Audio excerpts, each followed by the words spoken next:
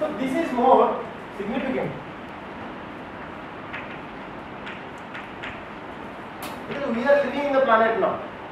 May not be so much significant for the animals or the plants or the or the others. Because the animals, aquatic animals or the terrestrial animals, they have survived with so many cycles of these things. But since human being is now suffering, you know, because of this rise, that is why it is become more significant. Follow this point now. The point is why we are so much bothered? Why we are bothered? Because for our future, the most of you are in intense stress situation because of your future only, not for the present.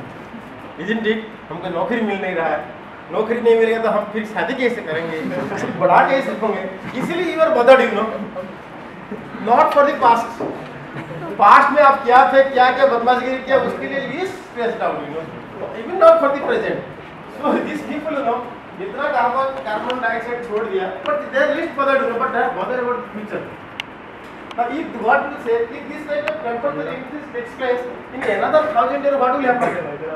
There won't be any civilization. There won't be any human being in the earth.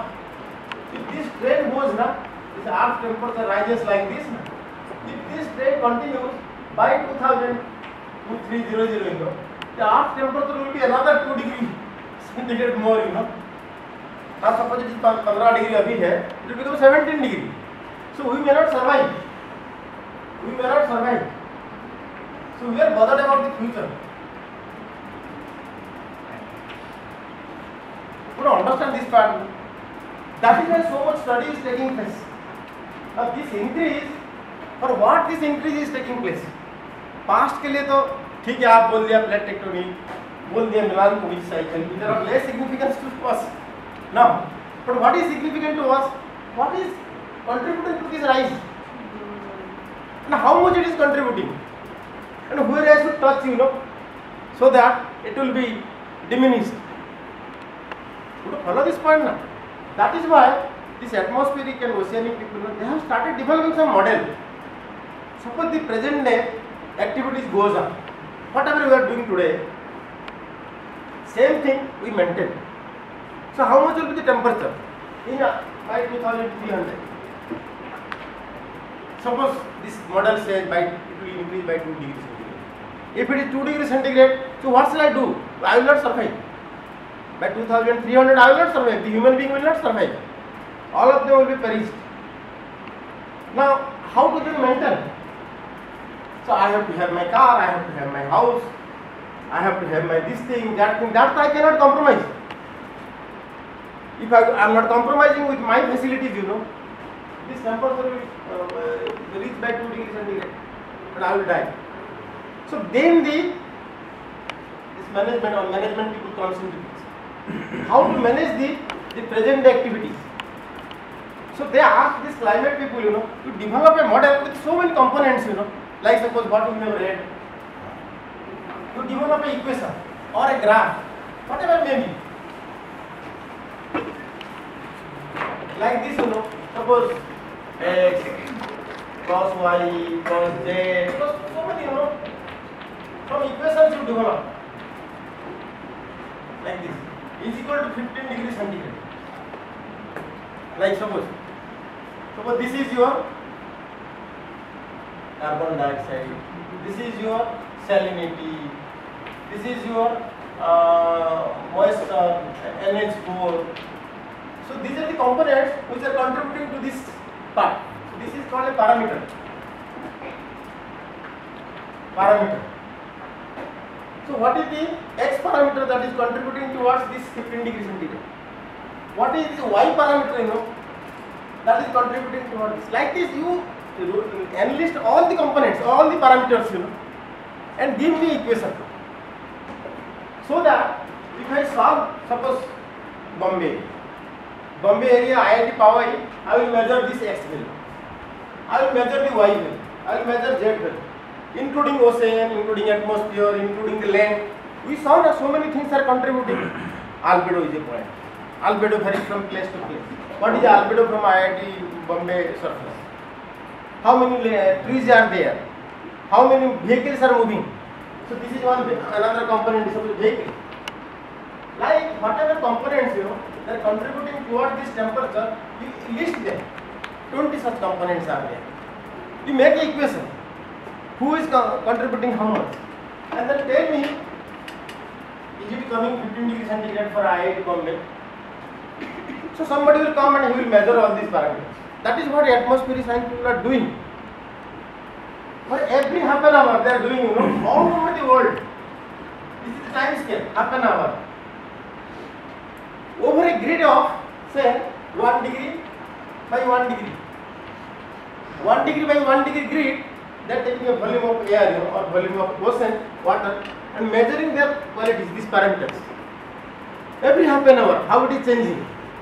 So that at a particular point of time, you know, if you just solve this equation, it should be 15 degrees centigrade. or temperature available there.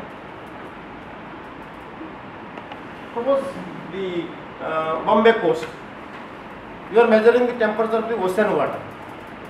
So ocean water is suppose 17 degrees centigrade.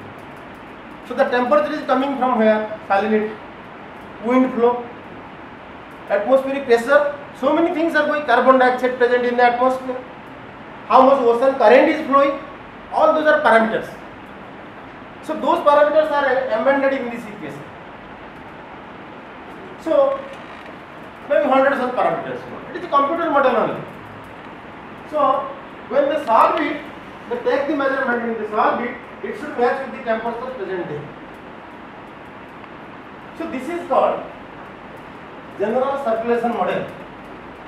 General circulation model. Everything taken together. Why circulation? Because of atmospheric circulation you are getting the temperature variation. Similarly, water circulation you are getting temperature variation in the sea. So all those things are taken into consideration and put into a mathematical equation. Not like this plus plus plus. Some integration, some calculation. Very big eh, you know derivation is there and programming is there. But under general circulation model equation, they produce the temperature there. After all this calculation, it should come to 15 degree centigrade. Or whatever temperature you are finding at IIT Bombay, it should give that result. If that gives, then this equation is correct. So though they going for the next year. Next year they find variations in these cases, in these, all these parameters. And whatever temperature is there, is it matching? So like this, they verify. They verify this equation, this model for all over the world, every place, whether it is working or not. So what do they found, you know? They have a, it is not absolutely correct, absolutely correct. But maybe 50 to 60 percent it is giving a 50 to 60 percent correct. The rest 40 percent is uncertainty. You understood this part or not then? Suppose I, I want to just access your performance. you. You people are not doing well in the exam. Why you are not doing well in the exam? Should I just take one parameter like how much uh, hour you are reading in the hostel? That is not the only parameter, no? I should say how much what type of food you are taking, how much sleep you are taking, how much um, uh, exercise you are doing. All those parameters, you know, will tell me your performance. So I should develop a model so that if you put all these parameters, you know, it will tell you the 80% mark you are getting. You understand this part, just like that, you know, you take all those parameters into consideration and pump to this 15 degree centigrade. Then only your model works. So this model, general circulation model, has developed by US for the Pacific Ocean or most of Pacific Ocean, and they find it is working very nice there. But when India applies, you know, it is not very, very much correct. Very much correct. So what do they say? This model has 50 to 60 percent of accuracy. The rest 40 percent is uncertainty. So they explain why these uncertainties are there. we have included everything into this, you know, into this. Why uncertainties? So that, that means there are many things which you have not understood or that is called your feedback. Feedback, you know. So there are many feedbacks which are also responsible for warming. I have told, see you may take the carbon dioxide as the greenhouse gas. Its contribution here, suppose carbon dioxide is contributing.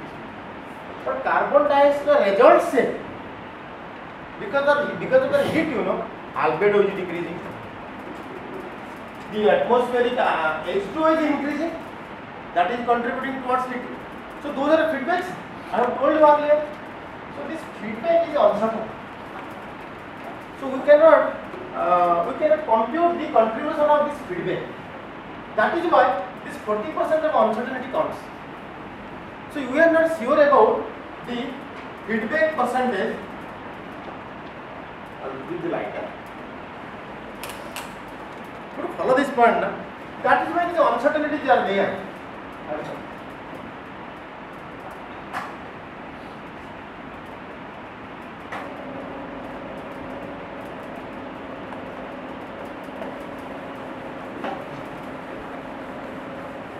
See, many times you must have seen, you know, the meteorological department, IMD, you know, Indian Meteorological and Tropical Department, IMD. They forecast about cyclones, cyclones, the climate, the rainfall this year. This year so much rainfall will happen. Huh? So much cyclone will come. It comes in the news, na? but it never happens, you know. Cyclone does not come, rainfall does not happen. So this model, you know, they say this DCM model, you know, general circumstantial model helps for Indian climate. Huh? But sometimes they do not predict, but things come, you know. so that is the uncertainty. They say because of the 40% uncertainty, uncertainty, we do not get good rainfall this time. Like so El Nino, you know, El Nino. El Nino happens when there is scarcity of monsoon, or it is called a poor monsoon. You remember that during El Nino time, poor monsoon happens. So now El Nino comes in, suppose 11 to 15 years interval. So sometimes they predict this year there will be El Nino, but El Nino does not come that year. So they say this is within that 40% uncertainty. This is El Nino didn't come. Sometimes El Nino comes and no rainfall happens. So they say this time El Nino happens. We could not predict. Like that, you know. So this natural phenomena is like climate, you know. Though we apply this model, you know, this year model, but it is unpredictable.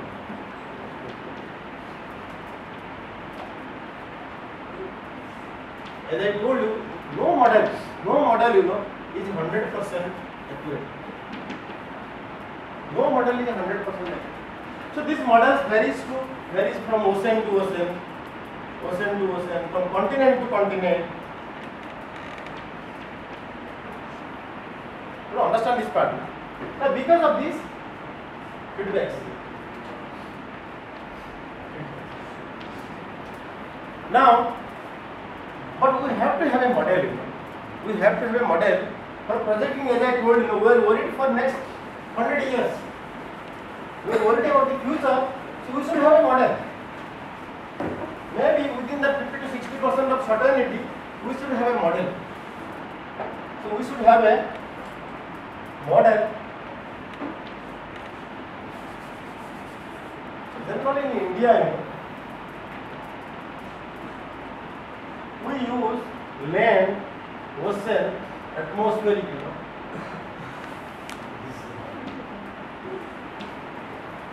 That means we use land. Land is a very important phe- phenomena, you know. And ocean and atmosphere.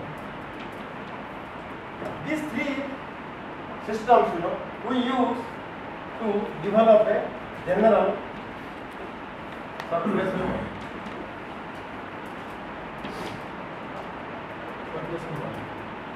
Because this land is very important for us in the sense, some people say it is orography. Orography control, orography control on Indian climate. Indian climate or Indian monsoon. Indian monsoon. That is the effect of land, contribution of the land. What is orography? Like suppose if you see India, you have so many orographic features. Orography you understand, na? You have so much high hills here, high hills there, and this is high hill, this hill is this. So how is the climate at different points? The climate at different parts of India. So what it says, the climate at different parts of Indian subcontinent is also controlled by orographic distribution. Orographic distribution. Like suppose you have so many uh, mountain beds, Western Ghats, Eastern Ghats, Himalaya, Aravalli. Because of this mountain belts and you have very big range, you know, Satpura, Satpura. So these controls the circulation pattern, the wind circulation pattern.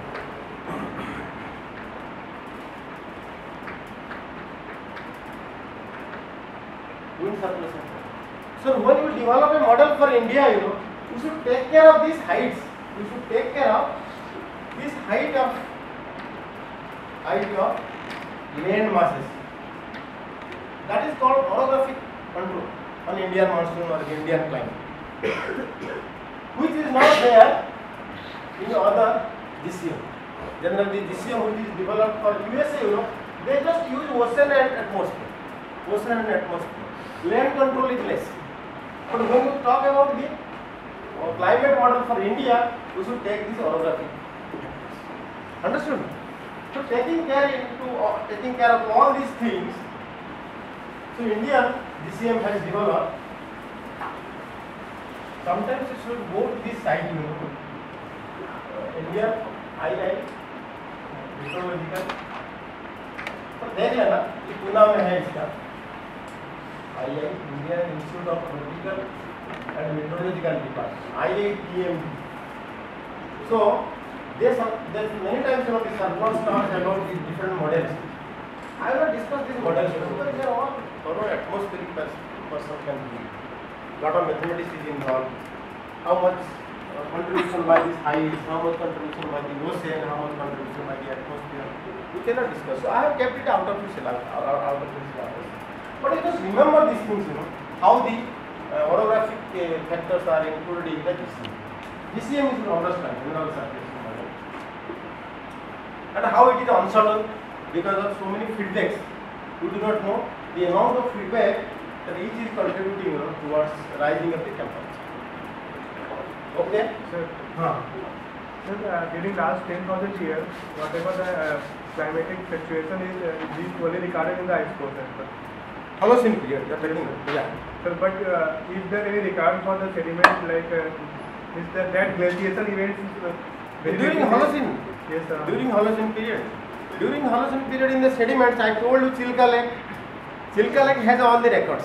It should be in the rec- uh, uh, lake sediments. only. So those are worldwide, is a little ice age and this. Uh, Yes, yes, yes, yes. Yes, little ice age, Dryas, younger Dryas, older Dryas. I have told you now.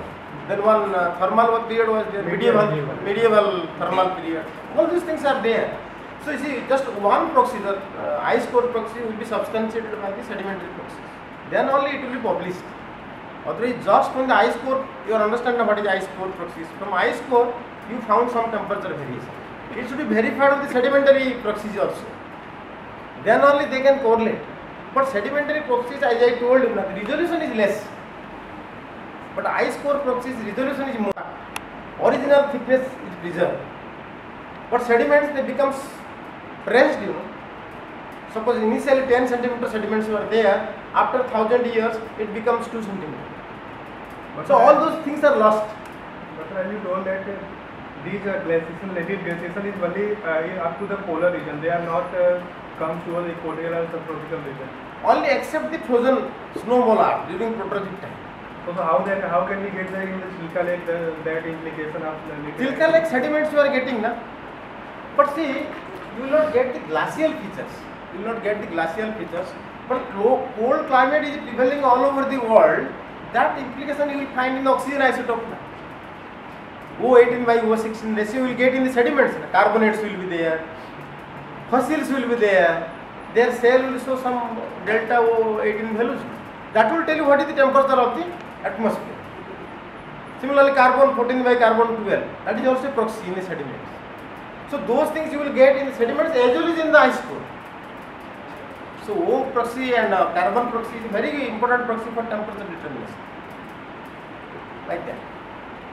But many, so much of advanced studies are going on nowadays, you know, over these climate studies in the last thousand years. From there are deep drilling projects in the ocean floor, particularly the Atlantic floors, you know. Deep drilling projects are going on. They are collecting the ice core, sorry, sedimentary cores and studying centimeter by centimeter. Similarly, India, government of India is also uh, collecting ice cores from Antarctic. So all are in NIO. NIO is doing this job, National Institute of Oceanography, Goa. They are doing. They have a core library, ice core library. Because when they collect ice cores, it is some minus some degree centigrade, you know, minus 40, minus 50 from the Antarctica. Now same temperature should be maintained till it is preserved here. So in that ocean, that sea, you know, there is a very, very frozen chamber, maintaining a temperature like minus 40, minus 50. Then only ice core will be preserved, otherwise it will melt it. Should be uh, collected and preserved in the same condition as it is in Antarctica. Similarly, in Goa, NIO Goa, sometimes if you visit, they have a core library, uh, core laboratory, where that temperature is maintained. You cannot enter into that. Very deep frozen uh, room, you know around minus 40, minus 50 degrees centigrade. So the cores are preserved there. So the original composition is maintained. Similarly, they have a core, uh, New Zealand I have visited once, New Zealand, you know. This Antarctica core they have preserved. They have Antarctica division, you know, they have Ministry of Antarctica division, you know, which is taking care of all those cores. They have preserved. So minus 50, minus 60 degrees centigrade. You, can see from outside only. They will not allow you to enter. Those who go and do the studies, they go with special type of dresses, you know, and collect it. Otherwise, you will just frozen into ice. You can see from outside this glass chamber. You can see from outside. only. So those are the ice cores. But sedimentary cores are okay. Sedimentary cores are okay. Even some many universities in our India, know, Indian university, they are doing study, ice core studies and sedimentary core studies. Okay. So now, next class, you know, we will see with this model, you know, what we do. Okay, we have got a model, you know, we can predict temperature uh, 2300 years, how much temperature is. Then what we are going to do with that model, that we will see in the next class. You know.